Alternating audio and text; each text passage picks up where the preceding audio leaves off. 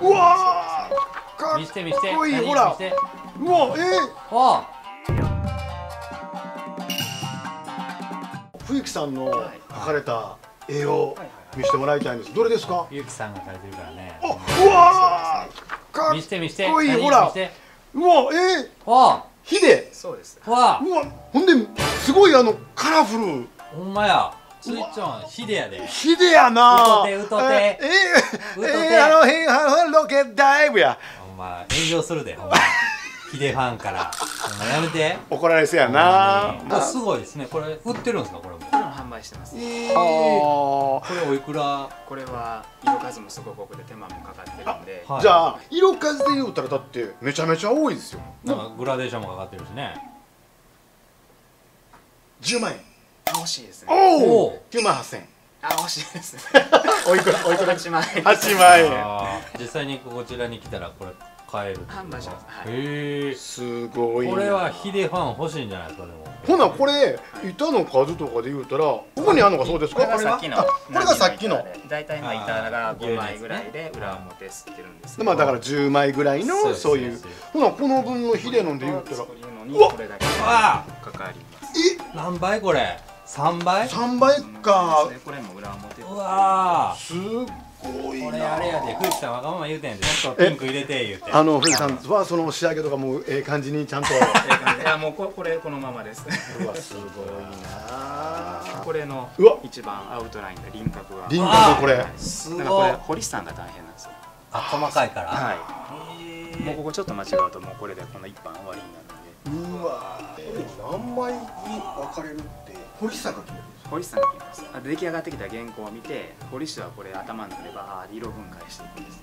ジャケットええって言ったでしょうねこのジャケット。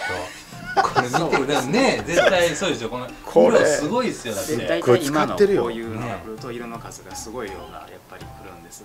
堀内さんっていうのはおいくつぐらいの方なんですこか？れお願いしてるのは40後半ですね。あ。あ47歳とかだと多分世代なんじゃないですか？あそうですヒデさん好きで。せやね割とあのね。面白がって作ってくれるよね。だってこの髪の毛とかもピンクなんですけど、はい。2色とか使ってはるんであせやな。やっぱこうトレードマークをちゃんと再現するっていうのにこだわってはるんで。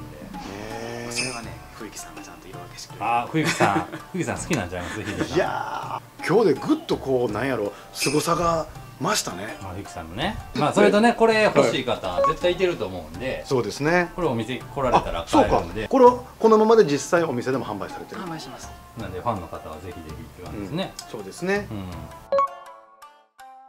はいスイッチョンはい。ね冬木さんのすごい仕事を見れて。びっくりしたびっくねりしました、うん。ね、やっぱでもちょっと高いですね。せやな。まあ。それは仕方がないんですよ。ええもんですからね。でももうちょっとリーズナブルな方が良かったりもするので。す。まあ見でてる人もねやっね。ぱ来やすいと思うんで、よしそういったところで何かないですか？もうちょっとリーズナブルな感じで。今これはがきですけども。あ。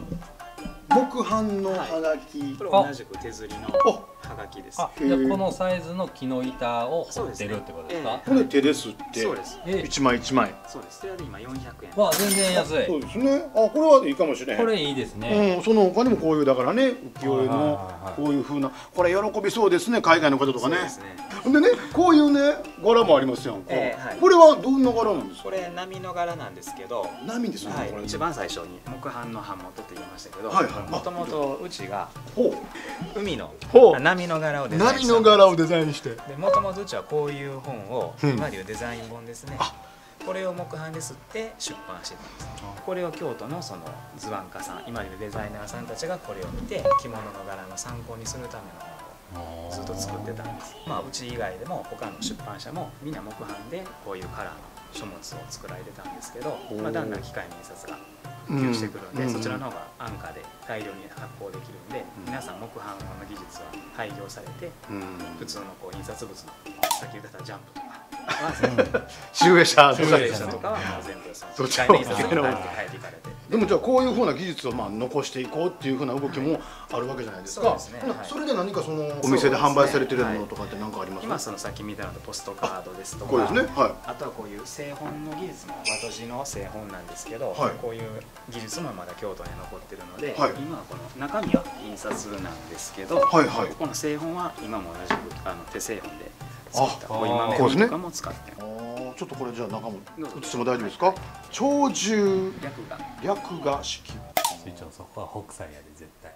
北斎そなこは北斎ありますか？あ北斎あそこは北斎近北斎。動物100匹。動物100匹。どんなん出るかな？ゾウか。ごめん。北斎じゃなかったわ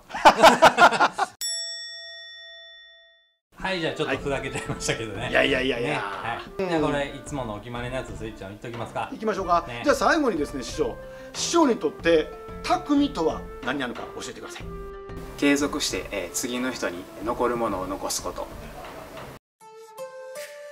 北斎が今で言ったらワンピースご視聴ありがとうございました。